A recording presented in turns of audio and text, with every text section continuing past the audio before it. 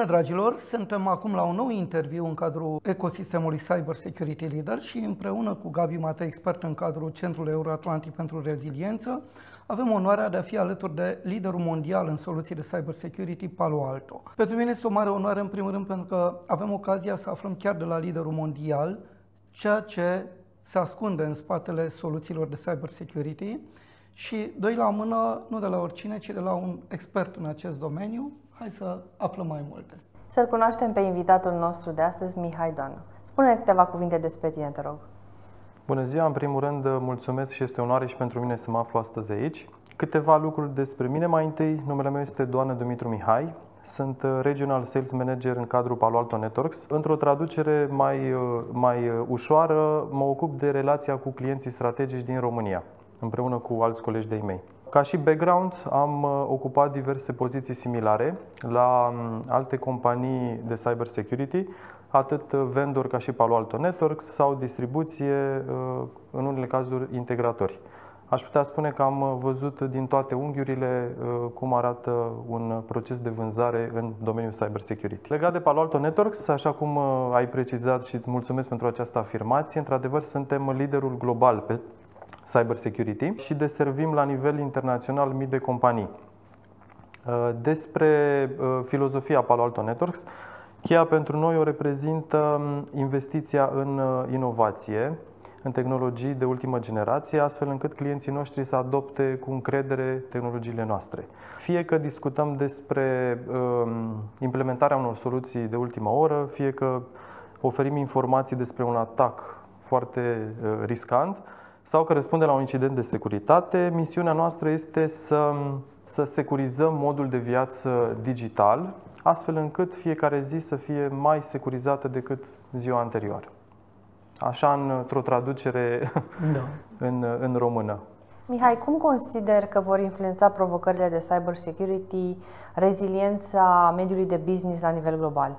Considerăm că există un impact asupra afacerilor globale și unul din elementele principale pe care noi le observăm este digitalizarea accelerată și, bineînțeles, și de pandemia începută acum câțiva ani. Ce înseamnă asta? Înseamnă că companiile își um, digitalizează serviciile și politicile pentru a răspunde mai bine și a comunica uh, mai bine cu, uh, cu clienții lor. Și dacă ar fi să ne uităm la valurile tot mai mari de ransomware din ultima perioadă, am putea trage o primă concluzie, cum că digitalizarea nu vine fără riscuri. De aceea, uh, recomandarea noastră pentru a reduce acest uh, impact uh, foarte mare este să-și implementeze politici de securitate de ultimă generație, dar și tehnologii, să apeleze la tehnologii de ultimă oră, ca digitalizarea să vină fără riscuri. Sună foarte bine. Și aici aș avea o curiozitate, Mihai, s-ar putea să pară puțin profană întrebarea, dar mă asigur că înțeleg foarte bine cum, cum stă treaba cu, cu cyber security. Putem spune, putem considera că există o diferență majoră între riscurile cibernetice la care sunt supuse marile corporații transnaționale în comparație cu cele naționale, cele care lucrează, nu știu, la nivel doar național și dacă există diferențe, care ar fi acestea? Este o întrebare foarte bună. Există și diferențe din punctul nostru de vedere, dar și elemente similare. Spre exemplu, noi considerăm că atacatorii nu discriminează, dacă pot să spun așa, în momentul în care își aleg uh, să atace o anumită companie, fie mare sau uh, mai mică locală. Mai mult de atât, ei sunt uh, interesați să găsească vulnerabilități pe care ulterior să le exploateze. Cum am putea să și punem o întrebare retorică dacă putem afirma că aceste companii mai mari, din exemplu nostru, au o securitate mai bună decât cele mai mici? Probabil răspunsul este nu și depinde de la fiecare companie în parte ce politici uh, are implementate. Însă aș puncta câteva diferențe. Să luăm exemplu unei companii mari care are sediu central în afară, uh, multe sucursale, un, poate și un sediu regional, un hub, cu forță de muncă hibridă, de acasă, de pe teren. Cu siguranță acest tip de companie pentru atacatori uh, este un vector de atac mai mare, are un vector de atac, o deschidere mai mare.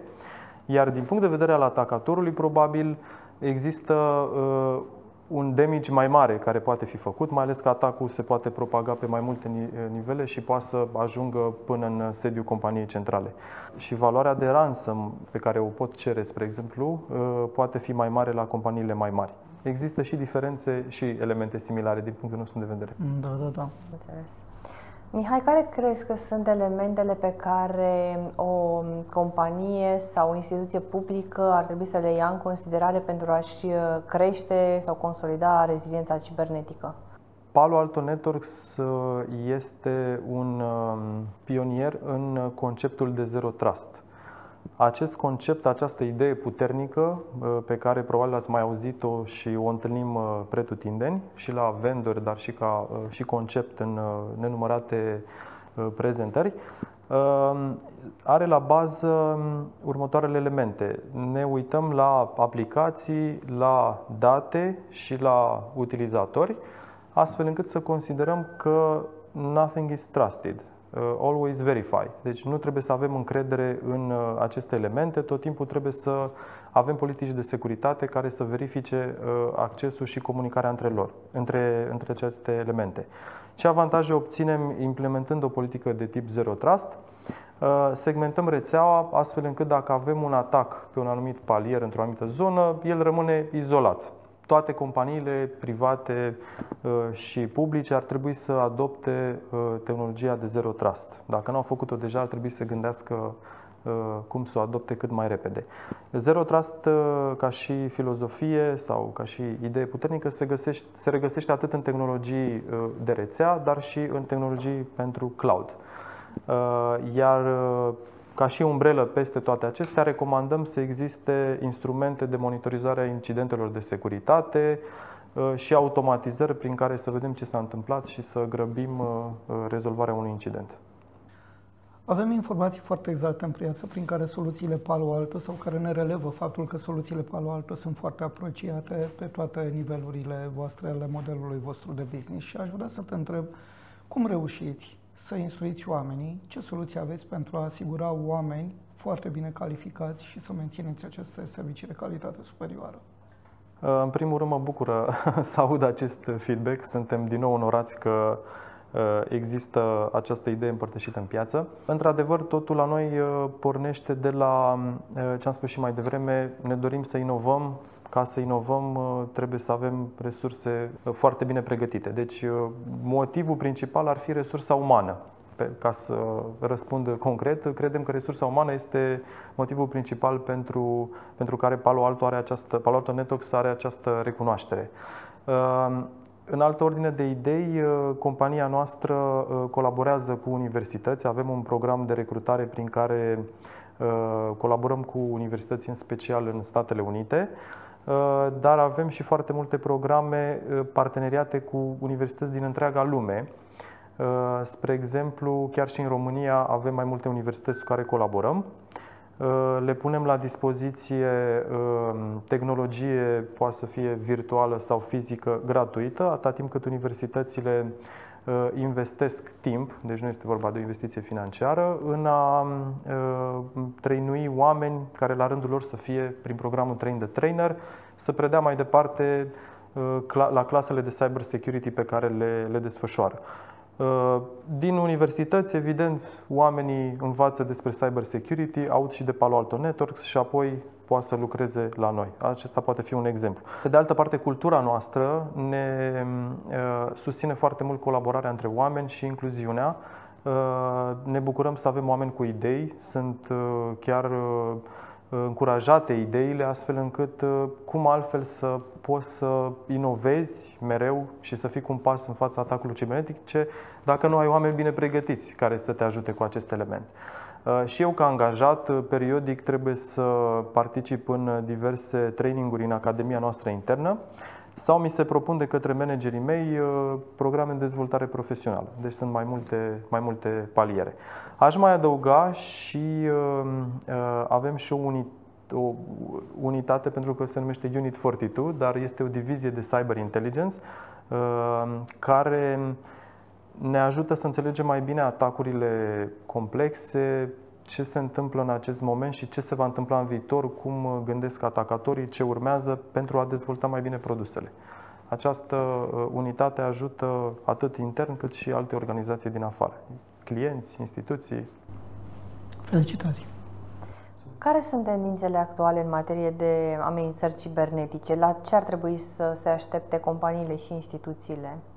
Tendințe vedem multe, aș puncta câteva și m-aș lega un pic, bineînțeles, și de războiul din Ucraina, că este uh, un subiect foarte de actualitate.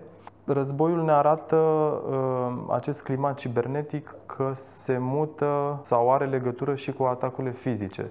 Acest câmp de luptă este și cibernetic, coordonat împreună, din păcate, cu atacurile fizice. Credem că în perioada următoare vom vedea tot mai multe atacuri care vor uh, avea impact fizic în întreruperi de servicii adresate cetățenilor, populației, și ele probabil vor fi coordonate cu atacuri fizice. Dacă vorbim de atacuri de acest fel, uh, vorbim de infrastructuri critice, vorbim de uh, zone de IoT sau OT, unde atacatorii vor dori să impacteze cât mai mult uh, serviciile digitale ale anumitor organizații, fie ele publice sau private. Uh, credem că atacurile de tip ransomware vor fi tot mai mari, mai ales că de ceva timp se vorbește și despre ransomware as a service și care nu mai este un concept unde îți trebuie prea multe cunoștințe ca să fii partea unui atac de acest fel. Și aș duce ideea chiar și un pic mai departe. M-aș lega de uh, această perioadă economică un pic neprietenoasă, în care, de ce nu, pot exista chiar și angajați ai unor instituții sau ai, ai unor companii private care să fie tentați să ia anumite informații din interior, să le vândă, uh, astfel încât să aibă o recuperare financiară foarte rapidă, pentru că știm cu toții uh, sunt uh, mulți actori interesați de secrete din interiorul companiilor sau private sau, sau guvernamentale. Cam acestea sunt trendurile principale pe care le vedem. Cum am putea să înțelegem mai bine psihologia criminalității cibernetice pentru a ne putea proteja de aceasta? Nefiind uh, un expert în domeniu, uh, am să încerc să răspund uh, un pic așa, simplist. Vedem clar motivația financiară. Deci, dacă vrem să înțelegem cum gândește un atacator, probabil ar trebui să ne legăm de ce îl motivează vedem că motivația financiară este una foarte importantă și atunci ar, ar fi interesant uh, și aș da și un exemplu, un studiu făcut de Palo Alto Networks, prin care unui atacator ia 15 minute să exploateze o vulnerabilitate publicată. Acest oportunism, împreună cu motivația financiară, uh, ar trebui să fie un semnal de alarmă pentru companii ca să se protejeze cât mai mult uh, de vulnerabilitățile pe care le au. Ce înseamnă asta? Înseamnă să lucreze cu vendori sau cu organizații care uh, aduc update-uri și sunt preocupate foarte mult de aceste elemente și să nu dețină, evident, tehnologii învechite și să apeleze la politici și tehnologii de ultimă generație. Mihai, mă bucur foarte mult că avem ocazia să descoperim multe dintre secretele domeniului vostru, chiar de la tine, un expert atât în ceea ce înseamnă ca principii uh, cyber security, dar doi la mână ceea ce înseamnă relația cu clienții și înțelegerea modului în care procesul decizional se creează.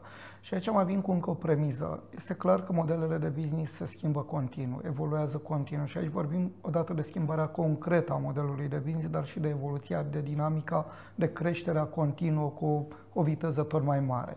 Și vin practic cu două întrebări. În primul rând m-ar interesa să înțeleg, se poate asigura protecția cibernetică aproape totală, să nu zicem totală, a unei companii, fără implicarea activă a top managementului? Și a doua întrebare ar fi, ce ar trebui să înțeleagă mai bine executivii, oamenii din fruntea corporațiilor, astfel încât să-și asigure protecția cibernetică a companiilor cât se poate de puternic? Pentru noi, uh, cei care activăm în zona de cyber security, uh, vedem tot mai mult implicarea managementului în acest domeniu, din moment ce riscurile au devenit tot mai mari, tot mai sofisticate și atunci uh, vedem această implicare. Răspunsul este da, este nevoie de această implicare și o să vă dau câteva exemple. Hai să numim top management, să considerăm un CEO ca și exemplu și să vorbim de necesitatea foarte mare de a avea în cadrul departamentului de IT persoane pregătite în cyber security. De preferat un departament unde să existe un manager, un manager de, de cyber security, un CISO, care să înțeleagă foarte bine uh, riscurile organizației, uh, să testeze infrastructura periodic, să participe la exerciții de cyber security care sunt foarte utile, să apeleze la penetration testing sau orice alte uh, stress testuri pentru infrastructura lor, uh, astfel încât atunci când vine un atac să fie pregătiți cât mai bine, uh, pentru că știm foarte bine că puțini sunt cei care sunt ocoliți de aceste atacuri. Revenind la relația cu CEO, CEO-ul unei organizații trebuie să implice foarte mult în, și să susțină foarte mult această idee, mai ales că cine este ultima persoană responsabilă în momentul în care apare un incident. Cine trebuie să dea explicații în fața clienților sau în fața celor impactați? Mai mult de atât, cine dă explicații într-un consiliu de administrație al unei organizații cu uh, uh, această structură în momentul în care există un, uh, un atac. Deci legătura este directă, departamentul de cyber security trebuie susținut până la nivel de CEO ca lucrurile să meargă și să existe implementate politici de ultimă generație. Deci, în primul rând, acest CEO, apropo de întrebarea ce trebuie să înțeleagă, el foarte bine, în primul rând trebuie să înțeleagă că trebuie să aibă o relație foarte bună cu acest departament și inclusiv cu consultanții externi și de la mână să înțeleagă că dinamica, inclusiv nu doar a modelului de business, dar și atacurilor cibernetice se schimbă continuu. Exact și trebuie să investească, să susțină uh, acest departament în a-și uh, îndeplini atribuțiile Super. și a Super, mulțumim. Hai să facem un exercițiu de imaginație. Să presupunem că eu reprezint o companie medicală foarte mare cu uh, clinici, birouri pe patru continente. Ce ar trebui să anticipez pentru următorii 1-2 ani în materie de securitate cibernetică? Așa cum am observat în uh, perioada de pandemie și nu numai, uh, zona medicală a fost targetată de atacuri ransomware masiv Uh, și credem că aceste atacuri targetate către zona medicală, fie privată sau publică, va continua. Motivul este simplu, sunt instituții uh, sau organizații critice, e vorba de salvări de vieți omenești și atunci uh, pentru atacatori este tentant pentru că pot obține, pot cauza daune și pot obține prin ransomware, evident, bani. Deci este o motivație financiară puternică. Uh, totodată vedem um, avansul tehnologic făcut de instituțiile medicale în ceea ce privește domeniul medical în sine, de a uh, ajuta la salvarea de vieți, tratamente, însă în continuare nu vedem aceeași investiție și în cyber security. Uh, mesajul pentru noi, și aici aș mai dau iar un alt exemplu, am uh, um, un studiu efectuat de Palo Alto Networks pe 200.000 de pompe de perfuzie uh, a arătat uh, un nivel alarmant de 75% dintre ele uh, sunt uh, cu anumite vulnerabilități. Motiv pentru care recomandările noastre ar fi ca zona medicală să investească în cyber security, Uh, în paralel cu investițiile pe care le fac în, uh, în domeniul medical. Pentru că atacurile vor continua, fiind uh, um, instituții critice pentru salvarea vieților. Mihai, recunosc că aici mai super surprins, super plăcut în primul rând cu aceste două informații foarte valoroase și cu capacitatea voastră, apropo de lider global, de a puncta și de a verifica și de a testa anumite vulnerabilități aceste două cifre, 200 de mii de pompe, ai zis, și doi la mână, 75%. Wow! Felicitări! Ce capacitate aveți, în primul rând, și doi la mână, ce ați descoperit? Da, într-adevăr. Uh, și aș mai adăuga uh, ceea ce am discutat un pic uh, mai devreme. Zero Trust. Este iar reau această idee puternică spitalele, organizațiile medicale pot adopta această uh, idee puternică pentru a se proteja de uh, aceste atacuri tot mai mari, fiind targetați, după cum spuneam. Da. Mihai, uh, pe noi ne interesează foarte mult să înțelegem acest principiu al rezilienței, uh, privind în primul rând în perspectiva securității cibernetice. Ne interesează să vedem cum o companie poate rezista în fața unor situații, unor bariere, unor piedici, unor intemperii de orice natură economică, informațională, informatică, etc. Și Gabi deja cumva a ridicat această minge la fileu să înțelegem perspectiva pe care voi o aveți pe un domeniu strategic, sănătatea, medicina. Și putem să privim această perspectivă, evident, atât din punct de vedere instituțiilor publice, cât și din punct de vedere al companiilor private. Dar să mergem mai departe cu aceste scenarii și să ne imaginăm că suntem un client uh, de-al vostru, hai să spunem, din alte domenii strategice, precum uh, domeniul financiar sau domeniul energiei. Vedem ce se întâmplă acum la nivel mondial în domeniul energiei și vedem cât de mult afectează o simplă creștere a prețurilor sau a costurilor populația și companiile. Și vorbim doar de o creștere a prețurilor, nu mai vorbim ce ar însemna să pice curentul electric sau să se întâmple alte probleme energetice pentru o săptămână sau două. Nu ne putem imagina efectiv. Și să ne imaginăm că suntem un client al vostru din aceste domenii strategice, energie sau financiar sau transporturi, și aș vrea să ne spui, ca să înțelegem inclusiv principiile de reziliență, care sunt beneficiile pe care Palo Alto ni le poate asigura nouă ca și client al vostru din domenii strategice în momentul în care avem acest parteneriat cu voi. Ok, uh, e o întrebare simplă. Uh, întrucât uh, deseori suntem întrebați uh, ce avantaje aduci ca și companie față de celelalte care există pe piață.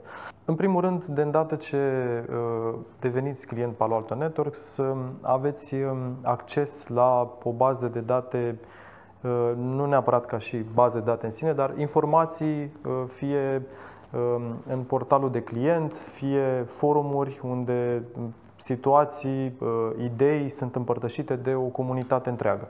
Această comunitate este împărțită pe categoria de produse, uh, acces la traininguri, uh, acces la suportul nostru în momentul în care există un caz, puteți să deschideți un tichet. Tot timpul lucrăm cu suport de tip premium pentru că înțelegem că incidentele pot fi costisitoare și de timp și de bani și atunci suntem la dispoziție imediat. Aveți acces uh, și ca uh, client, dar nu numai, uh, prin acel Unit Fortitude de care povesteam mai devreme. Puteți să primiți indicații de compromitere, IOC-uri, dar pe acestea le șeruim și cu alte organizații care nu ne sunt client, pentru că, așa cum am precizat anterior, în a răspunde la misiunea noastră de a securiza mediul de viață digital, Unit 42 Uh, trimite aceste informații chiar și către competitorii noștri, pentru că misiunea probabil nu este, e mai largă uh, și atunci uh, trimitem aceste informații care sunt utile, findings-urile Palo Alto Network sunt șeruite cu, cu mai multe entități. Um, de asemenea, um, anumite tehnologii ale noastre sunt dezvoltate gratuit, sunt actualizate, astfel încât nu mai trebuie să investiți. Aș da un exemplu, partea de Cortex, dacă ați avea soluția noastră de uh, răspuns la incidente uh, cibernetice cu o tehnologie care automatizează răspunsul, ați avea la dispoziție gratuit anumite playbook-uri pe care noi tot le dezvoltăm. Clienții le cer în funcție de uh, soluțiile pe care vor să le implementeze. Noi avem o coadă de așteptare, dau un exemplu, Uh, dumneavoastră ca și companie cereți o integrare pe care noi nu o avem nativă și atunci o analizăm și o vom dezvolta gratuit în funcție de câți alți clienți o cer. Uh, câți alți clienți o cer are foarte mare legătură cu câți utilizează acea tehnologie și atunci Palo Alto Networks poate să o integreze gratuit și o veți primi ca și update într-o versiune ulterioară. Uh, deci există foarte multe beneficii pentru, pentru clienți și o, o, te întrerup un pic. Ai spus acces la traininguri. Poți să ne spui mai mult despre în ce constau aceste traininguri? Uh, mulțumesc, Gabi, pentru întrebare. Uh, toate aceste zone de cursuri de traininguri uh, pentru noi sunt importante și aici aș detalia un pic. Ne referim la tot ceea ce înseamnă cursuri obișnuite pentru a înțelege mai bine zona de IT și cyber security, dar discutăm și de lucruri mai avansate. Chiar și înainte de a deveni client, când avem niște discuții incipiente, recomandăm uh, persoanelor mai tehnice să participe la, noi le spunem UTD-uri, care înseamnă Ultimate Test Drive. Înseamnă o jumătate de zi maxim în care uh, potențialul client poate să încerce tehnologiile noastre, să vadă interfețele, uh, să vadă cum se operează pe un firewall, spre exemplu, cum se setează niște reguli în zona de management, înainte de a testa propriu-zis, pentru că noi considerăm că este mai ușor, după ce trimitem un echipament de test, prima dată îl vede clientul, este ceva nou, dar așa să ai această sesiune înainte este un avantaj, parcă e ceva un pic mai familiar. Uh, dacă am uh, depășit zona de training, aș mai adăuga ceva tot aici ca și beneficiu. Uh, produsele noastre în sine utilizează conceptul de platformă.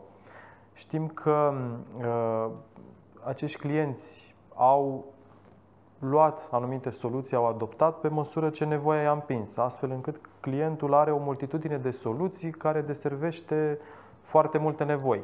Cum ar fi să ai mai puține soluții care să opereze mai mult, să se integreze foarte bine și să fie lucrurile într-o singură platformă. Ar ajuta foarte mult, în special când ești sub atac, pentru că poți mai bine să monitorizezi, să te duci în mai multe soluții, să vezi despre ce e vorba și să poți să răspunzi la un incident de securitate. De aceea noi promovăm ideea de platformă ca avantaj principal pentru clienți. Super. Mihai, trebuie să recunosc că, cel puțin pentru mine, interviul a mers nesperat de natural și de frumos și chiar parcă se termină prea repede. Aș fi vrut să, să punctăm și mai mult și să avem și mai multe întrebări pentru tine, dar o să avem ocazia în viitor. Și permitem, te rog, în încheierea interviului nostru să punctez trei elemente pe care eu le-am simțit uh, extrem de valoroase și, în primul rând, uh, mi-a plăcut foarte mult și am reținut uh, despre misiunea voastră pe care vă asumați nu doar la nivel național în România, cât la nivel global, aceea de a pregăti întotdeauna piața și de a oferi cel mai înalte servicii, cel mai înalte standarde de calitate a serviciilor pentru piață, pentru companii și pentru toți stakeholderii voștri. În al doilea, la mână mi-a plăcut acest concept, acest principiu de zero trust și faptul că e bine să implementăm în orice companie acest principiu și fiecare să înțelegem că trebuie să lucrăm cu un asemenea concept. Eduard, dacă îmi permiți da. să te opresc, da o să tot auziți de, de Zero Trust tot mai mult și ne dorim să auziți din mai multe părți, nu numai de la noi. Deci, uh, da. Um, Zero Trust, uh, în afară de ideea în sine, reprezintă și o, o sumedenie de tehnologii care se tot îmbunătățesc. De aceea și Zero Trust se îmbunătățește și conceptul în sine evoluează. este evoluează, exact. Deci da. sperăm să auziți tot mai des și de la noi, dar și de la ceilalți din piață. Da. Oricum, vă felicităm în primul rând că educați piața în această direcție și companiile și angajații și partenerii de business, toți trebuie să înțeleagă acest concept, pentru că până la urmă vorbim de o societate tot mai digitalizată pe toate palierele sale. Și un ultim aspect pe care vreau să-l punte și l-am reținut, uh, Mihai, uh, ceea ce ne-ai zis și ne-a atras atenția foarte interesant, creșterea tendințelor, atacurile de tip IoT, Internet of Things. Într-adevăr, așa cum am punctat mai devreme, Uh, dar ca să vin și mai bine în uh, susținerea acestei idei, uh, unitatea noastră de Intelligence Unit 42 a descoperit recent 134 de milioane de atacuri de tip exploit pe o serie de dispozitive inteligente care se găsesc într-un mod uzual, deci sunt foarte comune la, la mai multe organizații. Uh, este clar că acest aspect trebuie să ne rămână ca și uh, uh, element esențial în a fi punctat, pentru că va fi un trend tot mai mare. Mai ales dacă aceste dispozitive inteligente participă și ele la impactarea serviciilor către cetățeni sau către angajații organizației. Mulțumim, Mihai! Mulțumesc, Gabi, mulțumesc, Edi. Mulțumim frumos! Ne vedem cu plăcere și altă dată foarte multe informații valoroase. Da. Mulțumim frumos!